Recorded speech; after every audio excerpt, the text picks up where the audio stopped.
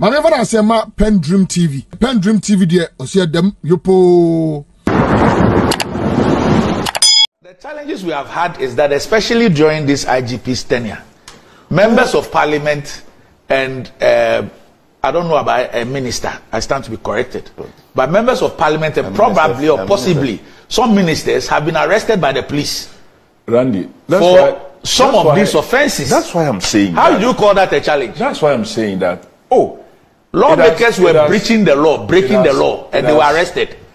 So you No. do an amendment to to exempt you, or to, in fact, make it possible for you to, in fact, legalize what you were doing illegally. Randy. And that is why, if it is for emergencies, it will not even occur to you that there are doctors and nurses in this country. If indeed the real reason is about the possibility of engaging in emergencies, Look, I am saying that the sponsors mm-hmm. of this LI mm-hmm. were attempting to cure something. Sometimes the cure may not be able to capture everything. Mm-hmm. The cure itself may not be able to cure everything. And we must accept that. I don't believe and will not accept that we should just blame a committee or blame some persons for what it is that is happening as far as this LI is concerned. Because I was a witness to a statement and a rigorous comment by members of parliament on the floor in relation to members of parliament either coming to work or attending to some agent business and being stopped because they were doing something that, as you stated, already doing which is not what? Lawful. Mm-hmm. But sometimes, like I asked the first question, do this category of persons get involved in some emergencies? Yes. Mm-hmm.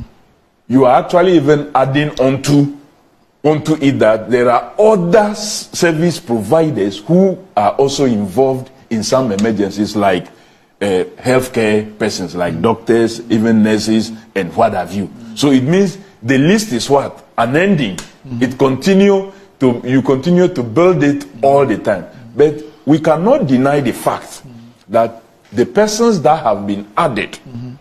i- are involved in some emergencies of a sort. in fact, Take- they are, they are the least to be involved in emergencies. Take, take for example, well, well, well. I used to think sin. Is it Kofi? Let me But- tell you. but- let me tell you something. You see, at this stage, Yeah. when we are dealing with the Ghanaian people, and this is even lesser than the next one, which is the speed limit. Um, For me, that's that's the that's the most bizarre one.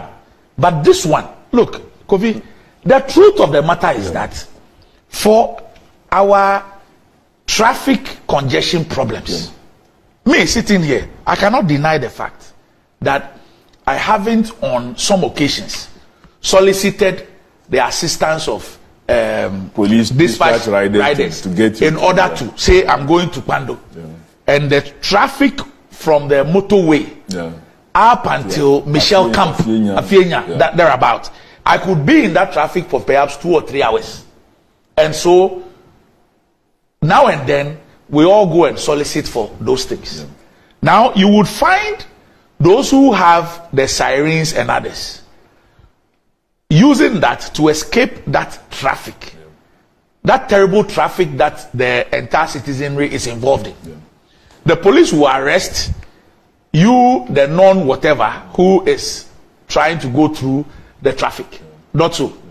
So this amendment really is to give you this category of officials the opportunity to be able to escape this traffic that every Ghanaian citizen escapes. Meanwhile, you are voted into office to take the decisions that will lessen that burden That on burden. all of us. Yes. But you are taking a decision that will exempt you from experiencing well- that suffering. You didn't How then will you solve it for us? look. Maybe you were not getting my point right from the beginning. I said, do we all face that? Yes. Should the solution be building the infrastructure That's our road networks and other access routes that people could avoid even some routes when they don't need to use such routes. That's the way we should go. But have we reached there? No. I've just returned from some parts of even uh, Africa. I'm not going to say the, the, the western part of the world. And you can see serious road networks, access routes that will let you avoid sometimes even the main road where you don't need. That is what we should be looking at. The Ministry of Transport, the Ministry of Roads and Highways, the, the local government together must look at planning such that we can reduce traffic in the urban areas and on our on our roads. So that agreed. But the next question I ask is whether this category of persons do get involved in one emergency or the other. And the answer is that yes, they do. Do they need to be exempted? Should they, should we have another provision, like you said, that sometimes you call the help of what? Dispatch, official police dispatch to dispatch you to, to a point. Should that be something that should be available to this category of persons? It's another point that can be made so people can apply ahead of time. I always believe in planning, Randy. If I have to attend a function and I know this is the place, first I check the times that I'm going, what is the normal traffic situation on the route, and what time I need to leave in order to get there in good time. I do that always. And if you ask my drivers, you ask my gut, they will tell you, I don't tolerate such things. Even on the motorway, sometimes when there is a situation that leads to traffic build up, you see people attempting to use the shoulders of the of the motorway to to bypass those of us who want to do the right thing. You know what I do most times? I will drive out and block that side and move at the same snail speed that all the other vehicles are. So if you attempt to, to, to get off the road to use the shoulders, there's no way you will be able to pass. Until we get to where the obstacle is, then I will get back onto the road. And those following will see that I am doing so to stop all others who want to engage in an illegality by driving on the shoulders and creating even a worse situation ahead for all of us. But we should be asking ourselves take a member of parliament who is supposed to be in the chamber to help the business of the house. At the same time, he's supposed to attend to another assignment of state somewhere within a very short time. And this law didn't say that compulsorily members of parliament must fix or ministers must fix things in their vehicles. Like I said earlier, I don't think the speaker will, will fix such things in his vehicle. I don't think that the chief justice will fix it in his or her vehicle. I don't think uh, the vice president will fix it in his or her vehicle. They all rely on police to uh, escort them and so on and so uh, and so on and so forth. Should members of parliament not have facilities so that if you have to move from the chamber to say airport to pick a flight quickly to an assignment, there will be an escort for you. Why should there be? Why should there be? Oh no no no, Randy. If you are taking it to that level, that you should not have, for example, sometimes No, you, don't have- get the point I'm making. The point I'm making is that mm-hmm. look, we are all facing that traffic. You just you Because just, no, of a reason. No, Doc. You Why just, are you not you just- focused you just- on no. solving the problem? Because you see, the problem goes from is it keeps No, degenerating over the years. No, no, no. And you are looking for an easier way out. Doc, you just said earlier, for example, that Yes. you sometimes when you have to travel to Yeah, I do. Kpando, Yes, I do. Yes. That's why I'm saying that for a member, and that member is not an everyday thing. I'm sure the discussion is because people think Yes. that you are to fix this siren so that, like myself and Chinia woke up from our homes today coming to Metro TV, then the sirens are on. Win, win, win, You, win. you already coming- have the sirens. coming- you are using on- them. the problem is that on- the police arrest you. I am saying because that- the law doesn't I'm support saying you. that- I'm saying so that- you want to avoid that. No, no. By legislating no, it. No, no, no, no, no, Randy. What I'm trying to say is that the whole discussion is like the idea is for ministers, members to fix this and for everyday use and every time use. Why not? No.